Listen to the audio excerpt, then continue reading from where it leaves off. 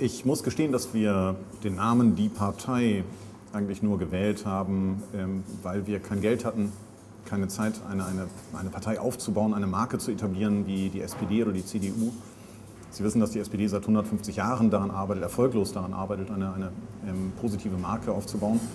Und wir haben uns damals gesagt, wir greifen einfach auf eine Marke zurück, die gerade brach liegt. Wir nennen uns die Partei. Das kennt man im Osten genauso wie im Westen. Das zeigt einen gewissen Alleinvertretungsanspruch. Und dann haben wir uns einfach hingesetzt und haben das Wort Partei gefüllt. Und das heißt jetzt Partei für Arbeit, Rechtsstaat, Tierschutz, Elitenförderung und Basisdemokratische Initiative. Tierschutz ist also relativ ähm, zufällig da reingeraten. Es hätte auch was mit Taxifahrer oder sonst was sein können. Tierschutz liegt uns nicht am Herzen, es sei denn, es liegt Ihnen am Herzen, dann äh, machen wir uns diesen Punkt natürlich zu eigen und setzen uns für den Schutz des äh, Feldhamsters, rot, roten Feldhamsters, für den Schutz dieses äh, Hamsters ein.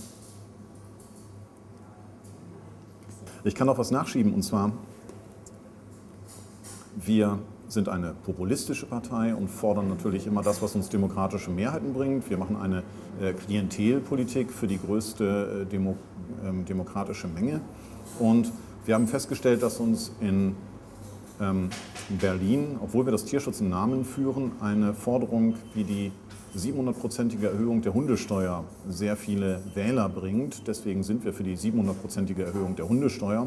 Und ich hoffe, dass das äh, im Land Sympathien bringt und findet. Wir sind eigentlich die Partei, die sich quasi für, für Feldhamster einsetzt wie keine zweite, aber auch für eine 700-prozentige ähm, Steigerung der Hundesteuer stark macht.